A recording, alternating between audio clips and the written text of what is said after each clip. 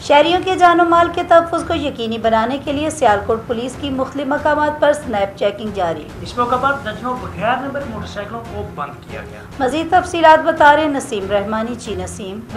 जी बिल्कुल सियालकोट से शहरियों के जानो माल के तफस को यकीनी बनाने के लिए सियालकोट पुलिस की मुख्तु मकाम पर स्नैप चेकिंग जारी। दर्जनों बुला नंबरी मोटरसाइकिल ने बंद D P O Mohammad Faisal Kamran ने ड्यूटी का जायजा लिया और जानों की अफरादारी की।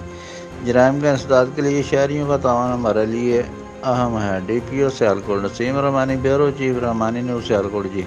बहुत शुक्रिया, अपडेट करने का